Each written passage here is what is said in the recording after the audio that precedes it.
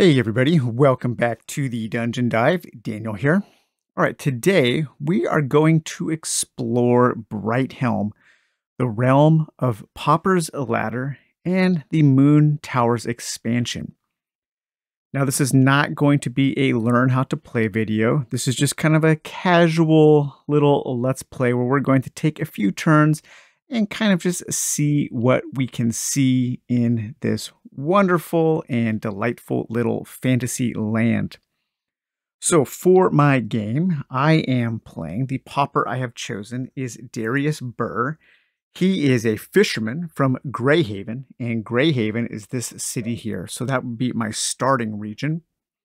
I was able to purchase one piece of starting gear at the beginning of the game, and I chose to purchase this fighting tea. And that says when your pauper fights, discard this to draw two outcome cards.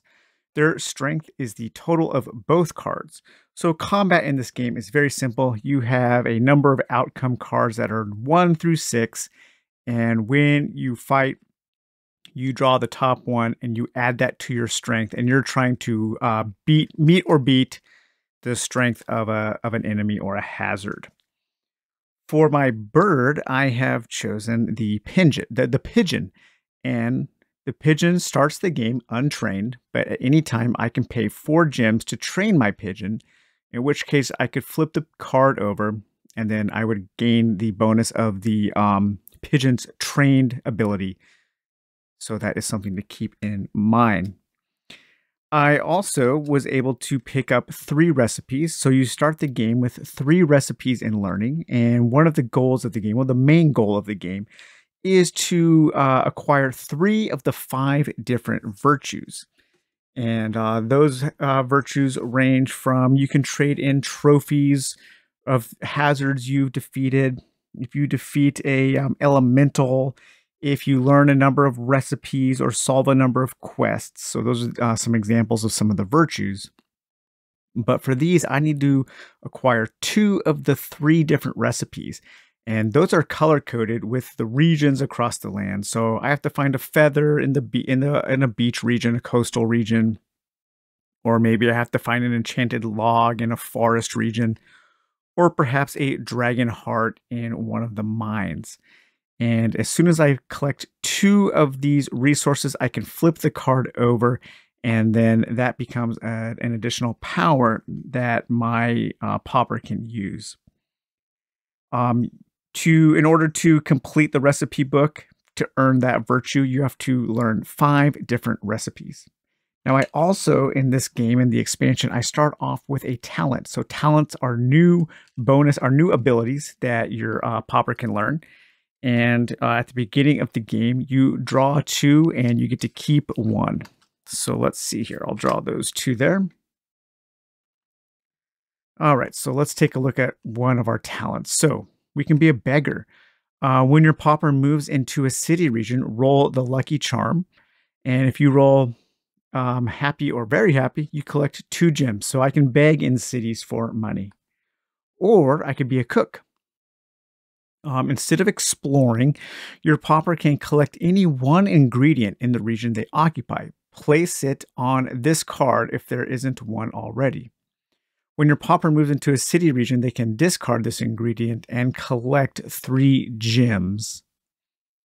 Um, I think I'm going to become a beggar. My fisherman is going to become a beggar. So I'm going to take that as one of my talents and add it to my hero area, my pauper area. Now my pauper also has a uh, an innate ability, an item, and that is the fish hook. When your pauper moves into a beach region, and that's any of these uh, yellow regions, uh, place one gem from the bank on this card. When your pauper moves into a city region, put these gems in your purse. Okay, so I can go fishing, and the gems kind of represent fish, and then I can sell them to the city to a fishmonger when I move back into the city. And we also have all of our other cards here. So we have our other quests, we have our equipment, our rare equipment, our other birds, our um, apothecary, which is where all of our um, ingredients or all of our recipes are ready to be learned. We have our forest deck, beach deck, mine, mountains, and swamps. And so those are going to be the cards that we're going to be drawing from when we explore the different regions. Then I am also playing the solo mode here. So I'm playing on easy. So my pauper and my bird each have five health. I lose the game if either of them ever go down to zero health. And I'm starting on 15 time. And I also lose the game if I ever go down to zero time. It is possible to earn more time by doing these certain things. Defeating a hazard, learning a recipe, completing a quest, or a virtue will give you more time. You can also spend time to discard different hazards and things that are on the board. So if you want to get rid of things, you can spend time just to discard those. There are a few different rules about fighting moon towers because they're a little bit more powerful, so your bird can help you. And you can also hide from a hazard. And if you do that, you roll this die and then you roll the lucky charm and then you follow the rules there. And when you're in a city, you can pay a gem to heal your character or your bird. All right, so the first thing we're going to do is it's our first uh, round here. So we're going to lower the time track by one. And I am starting here in Greyhaven, setting out. This is uh, the, the, a new day in this Pauper's life, in Darius's life. Actually, we should go ahead and open up our atlas here, our illustrated field guide. And let's see what Darius has to say here. So I have colored Darius there. And this is Darius Burr. Any morning, come sun, hail, or snow, Darius will be hauling his net at Greyhaven's jetty, preferring the quiet, contemplative life fishing affords him. He spends his days selling his daily catch to the local market before heading off for a pint or three. That sounds like a amazing life. he loved to fish the wide open seas around Brighthelm, but saving up for a boat is difficult when the briny brewer demands his attention. Okay, so I can check off this achievement if I win the game with Darius. And again, to win, I need to get three of the five virtues. Or if I move four gems from your fish hook to your purse in one turn. So if I move into a beach region four times before uh, moving back to a city to sell my catch, if I do that four times, then I can uh, gain that achievement. So pretty cool. Okay, so the first thing you're going to do on your turn is we have two turns because we have our pauper and we also have our bird here, our pigeon, and we can start exploring. I'm thinking the first thing I'm going to do is Darius is going to uh, move over into this beach region here. And because of his fish hook, when your pauper moves into the beach region, place one gem. So Darius has gone fishing for the day and he catches one fish. This is going to be the fish, and I'm going to place that on his fish hook there. And now, since there are no cards in the beach region, the first thing you want to do is you want to explore. So let's explore the beach. So explore the beach, we draw the top uh, beach card, and what do we have? A sandworm nest. Okay, uh, when drawn, place three crescents from the supply face down on this card. A trained bird can collect one crescent from here and miss its next turn. The nest stays in this region until there are no crescents left. Okay, so this sandworm nest has three magical items that our trained bird can retrieve. So we're going to uh, take these. They're all supposed to be face down, but I'm not really too worried about it. I'm going to draw three without looking. And then I will place those face down on this uh, tile there. So now when I train my bird, when I pay four gems to train my bird, I can send my bird here to grab one of these crescents. And these crescents are going to be really cool items that I can use to do different things, like adding to my trophy collection, or I can use them for money, or use them for power, use them for various things during the game. Okay, so now it is my bird's turn. And my bird, he could, or uh, she, it, they could follow me into the beach, or we could send them off to in a different direction. I think maybe I'm going to send them off here into the uh, swamps there. My bird is flying over the swamps. So let's draw our top uh, swamp card there. And it is a Willow's Hovel. You may collect a crescent from the supply. If you do, roll the golden charm. If you roll, if you get the sad face, your pauper is cursed. The hovel stays in this region until it curses a pauper. Okay, so kind of a pressure luck element there. Um, let's see. Do I want to collect a crescent from the supply? So the uh, golden charm here has one, two, looks like two bad faces. So I have a two in six chance of becoming cursed. Yes, that is, let's take that chance. So I'm going to uh, mix this up and we will draw one. And what do we got? We have a plus three. So we're going to be able to use this to spend to add three to our strength when we have a combat against a hazard. And now let's see if we become cursed. Yes, we do. Oh, the luck, the bad luck starts. All right, so our poor pauper was having such a good day fishing, but his bird tempted the willow's hovel, and now we're going to get cursed. And so now our pauper is inflicted with this curse there. And let's see what we have. Butterfingers. Place this next to your inventory. Your pauper cannot use weapons in a fight. Okay, well, right now I don't have any weapons, so I do want to get rid of that curse, though. So I'm going to have to go back to a city. And now this gets discarded at the end of the turn because it stays um, out in the region until it curses a pauper. Let's go ahead and discard that there. Okay, so it is the next day. We will lower our time by one. And let's see here. It is our turn again. So um, I want to go ahead. Let's see. I don't have any weapons right now. So I don't think I'm too concerned about my Butterfingers. I want to go and, and explore other beach regions so I can um, so I can get some more of that uh, gold. Actually, you know what? If we go into a city with fewer than two gold, we can have our curse um, eliminated for free. So let's go ahead and do that. So I'm going to move back into this city here. And I'm going to have that curse be dealt with by the local uh, witch doctor or I don't know, doctor or whoever deals with curses there, whoever heals curses. And then when I am in a city, I can uh, spend some time to shop, or if there is a special quest in a city, I can try to uh, complete that quest. And that's one thing we didn't look at. So each of the cities starts with a quest, and there are always going to be four quests available in a game. So let's see what our quests are here. We have this quest here at Greyhaven, and that is Cursed Mines. The mines are filled with pitfalls. Explore an event card with Cursed in the title without your pauper becoming cursed. Reward gain one equipment. Okay, our quest over here in Blue Vale is the Sympathy Sale. And that has to, you have to do that in the mines also. A local woman wants you to buy something from her brother's idiotic shop as if as it's his birthday buy one equipment from the dungeon shop. So the dungeon shop is something we can find as we explore the mines. Up here in Lilacsville, we have the Paladins. So this quest has to be completed in that city because of that icon there. The essence of magical creatures can be a weapon against moon towers. Discard one magical hazard from your trophy room when you're in the city. Reward. Learn one recipe from the dispensary or collect four gems. All right, and then finally up here in Black Sand, we have this quest, which is a study in luck.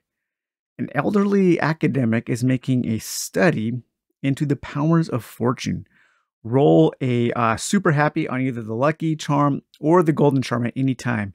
And if you do that, you can gain three gems or one equipment card. So those are the four quests that are available right now. So it was just our Papa's turn, Pauper's turn. He simply, uh, Darius simply returned back to his city. He'll go ahead and sell his fish, gaining one coin there. He had his curse lifted, and now he is resting for the day. So now it is our bird's turn again, our pigeon, pigeon's turn.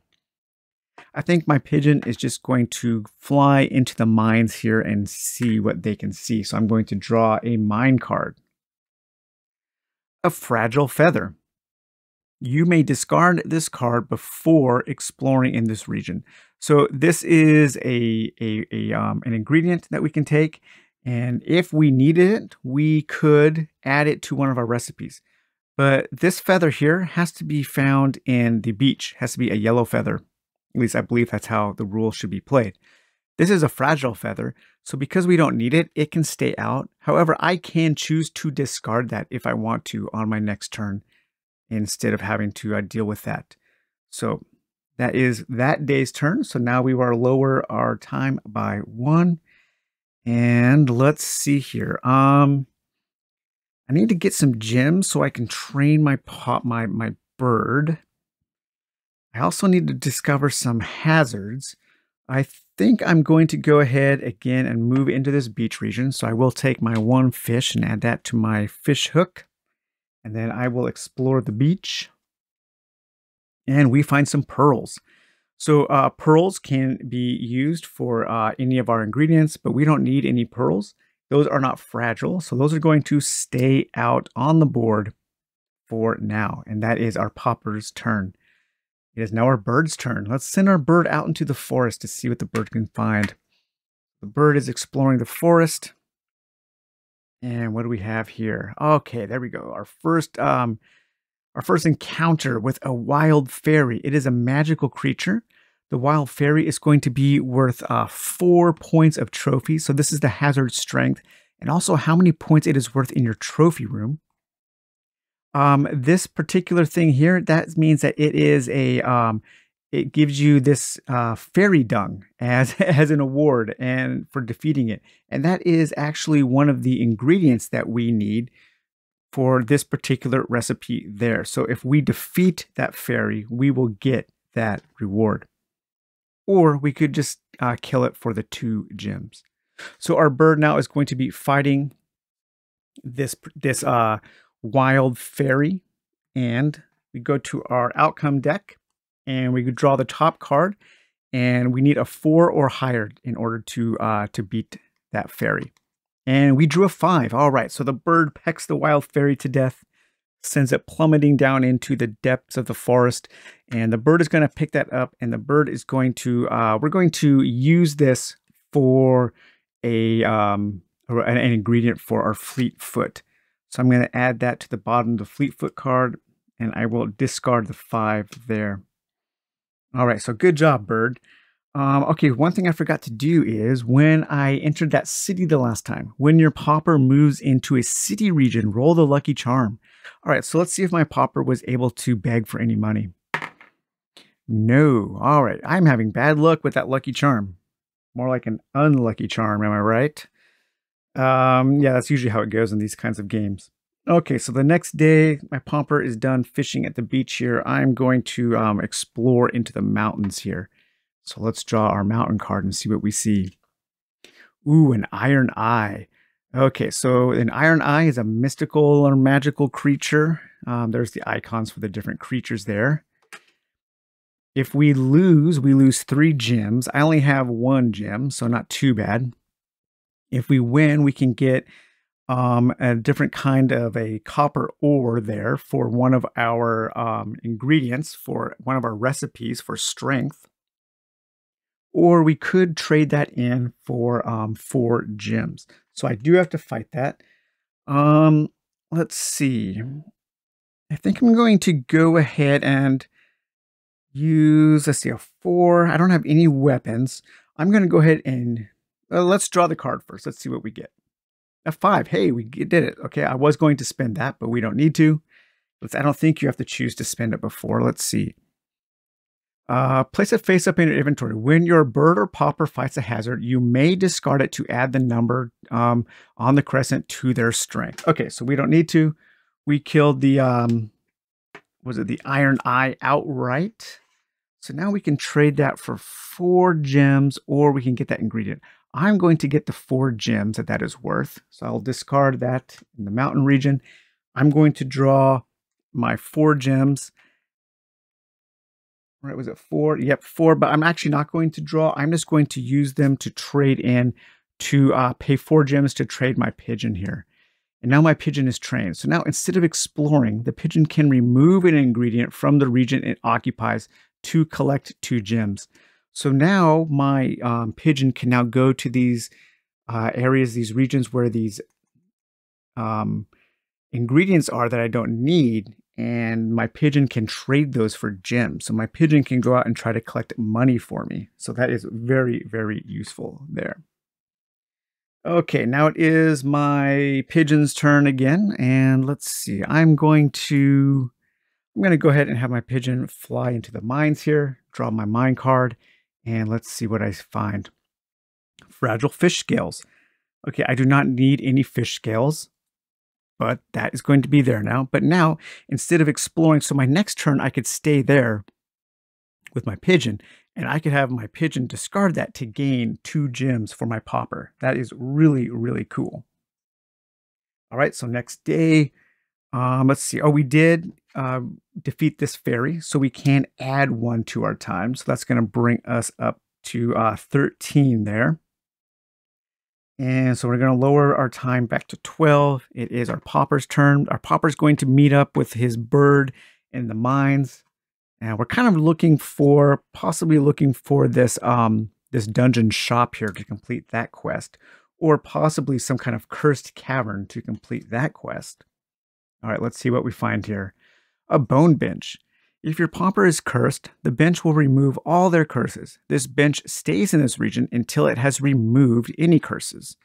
Okay, so now we have a free place we can return to to remove curses. That's cool.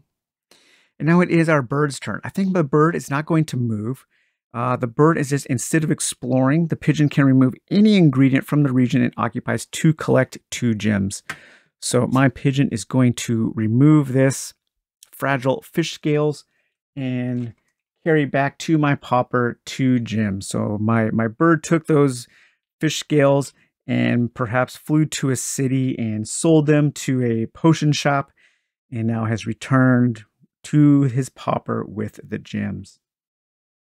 Okay, we'll lower their time one more. And let's go ahead and I'm just going to stay here and I'm going to explore this region here. So the mine, what do we find here? Ooh, a white pirate. Fail, lose three gems. Okay, we obviously have three gems now that we could fail at. We need a five there. Um, this item here, we could actually trade that in for, I believe that's an item. Uh, does that? Yes, yeah, so that would be an item. So we could kill this pirate. We could take three gold. We could collect a regular item, or we could um, draw, uh, we could add this to our trophy room for five points worth of trophies. What I like to do is when I draw a, a, an enemy that actually has an equipment as a reward, I like to draw the equipment right away. So it kind of removes it from the, the deck. And now that piece of equipment is always going to be staying with this um, hazard here. And if it gets discarded, it gets discarded because it was that pirate's uh, treasure. So I don't know, just adds a little bit of kind of a permanence to that. So we'll add that there, and now I need to encounter that. So I will go ahead and fight it, and I drew a six. I've been getting really lucky with my outcome cards, but that means there's probably, uh, you know, there's fewer and fewer good cards in that deck. But we defeat the pirate. And what do I want for the reward here? Um, I think we're going to take the piece of equipment. So let's see what the pirate was holding the pirate was holding a combing rod. When your pauper moves into a beach region, collect a gem. Okay, so it can help me uh, find a gem in a beach region, and I can use that as many times as I want. Okay, so we defeated that pirate there. Um, I think my bird is just going to stay here. I'm going to spend two whole turns here in these mines trying to find either one of those cursed tunnels or that dungeon shop. So let's see what we find here. Ooh, a Moon Warden. Effect. Moon towers can't be fought. Okay, so these are uh, a Moon Warden. If there was a Moon Tower out on the board, these guys guard those towers. So you have to defeat them before you can fight a Moon, um, one of the towers. They're very powerful with a 7. Okay, and that was my bird. So I can't use any items. I don't really have any items. I can use crescents, though. And so I think my bird is just going to have to fight it, and I need a 7. So let's see, what do I draw here? A three. Oh no. Um, if another character is in this region, you may discard this card and draw again. Because even if I added this um, here, I would only have a six. So should I chance it? Hmm, let's see here. Yeah, maybe so. I will chance that because I do have another character here because my Pauper and Bird are both there. So maybe this will be better a four. All right, so a four. We're going to uh, discard the Crescent to be a seven there. And then I would have defeated that Moon uh, Beast here. And now I can either get seven points of trophies, five gems, or three crescents. Uh, this is how many crescents the hazard is carrying. And I do want to double check. I do want to make sure that the bird can actually use crescents. I think the bird can use crescents to fight. Um, let's see here. I don't think they're items. Uh, can be collected by your pauper and your bird in a variety of ways. There's no limit to how many crescents you can carry. These are only used in Moon Tower. Uh, when they're sold, they're discarded the place if all crescents are discarded when your bird or pauper fights a hazard. Yep, so the bird can use crescents, so very cool. What do I want as a reward for this? I'm gonna I'm gonna go ahead and draw three crescents because those are pretty powerful. I like those. So close my eyes here, draw three, and let's see what I got here. Okay, we got that one, a plus one, and a three. So let's see, the three counts for uh, trophy points. So we can add that to our trophy room. And we're trying to get a strength of 30 in order to uh, become brave and get the, the virtuosity, the virtue, um, virtuosity of bravery. We have this as a snow crescent. Place it face up in your inventory. You can discard it at the end of your pauper's turn. Your pauper gets another turn or ignores having to miss a turn. Okay. And then the plus one here is just going to give us a plus one to our combat. And yeah, so that's kind of how um, Pauper's Ladder is played. It's a very simple game.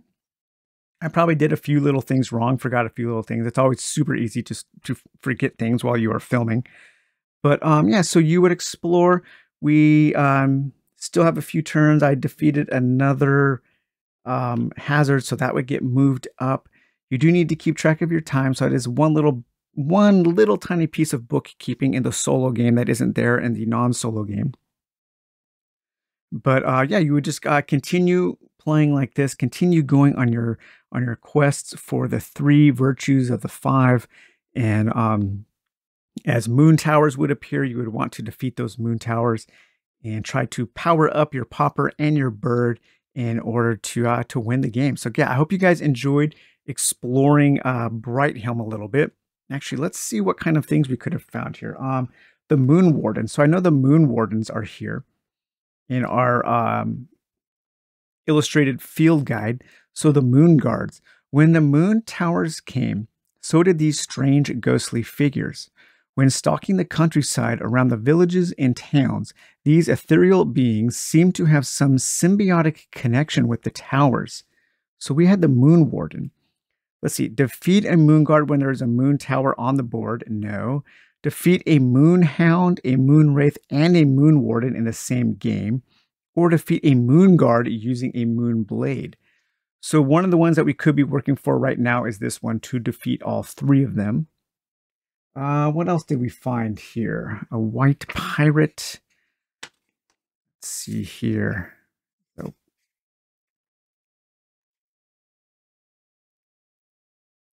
The white pirate is not in there. Um, maybe the iron ore. Is the iron ore in here? Merman, bird. The eyes. So that's one of the things we fought there. Was this iron eye. Uh, long before Brighthelm's mines were such dry, the dwarves developed steam-powered technology to help them with their underground work. These eyes, perfectly suited to the tunnels below, protected miners against the assorted creatures that dwelled there. Their power faded with the passage of time, but when the moon towers arrived, they woke up again, and everything is an enemy to these unblinking orbs. Defeat an iron eye. All right, so I could check that off now. Defeat an iron eye. Okay, so I checked off defeat an iron eye. Now, what I would do is I think I would take some time to color that in as I uh, get to check off one of those boxes.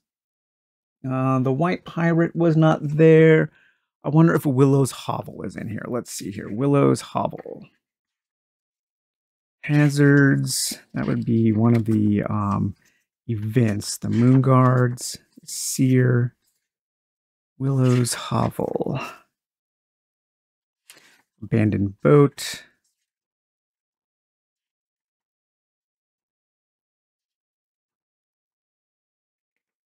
Um, it doesn't look like Willow's Hovel is in here. So that's not something that we can check off yet. Or check off at all, I should say. Um, is the combing rod one of the items in here? Let's see. Combing rod. Combing rod. The combing rod is used to divine water sources, but you can tweak it to find useful things too. Have a combing rod in your inventory and collect a gem when using the combing rod. Okay, so I do have one in my inventory, so I can check off that achievement there. And then we can also read about our pigeon here. Let's see, the birds. Pigeon. The humble bird is as loyal as it is common. Its scavenging abilities can prove useful when there's something to find. Train the pigeon. Use the pigeon to collect six gems in one game by removing ingredients. Okay, we have trained our pigeon, so we can check off that achievement there. I love this achievement book. It it just it is so cool. Oh man, what a great idea. What a creative use of a very simple component just adding something interesting to the uh, to the game. Let's see, we do have some fighting tea as well. There's nothing like a good cup of hot before launching headfirst into a scrap. Has some fighting tea in your inventory, which we do. Draw two outcome cards with the same strength when using the fighting tea. Okay, that's a cool, that's a cool achievement. Very nice there. All right, well, I think we're done now. I'm going to play the rest of the game off the camera and just enjoy my my time casually with uh, Pauper's Ladder and the Moon Towers expansion. Have a good one. We'll talk to you later. Bye bye.